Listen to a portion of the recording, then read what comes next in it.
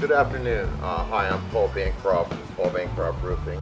We're here this afternoon at this residence here uh, going over uh, roof maintenance and cleaning of gutters.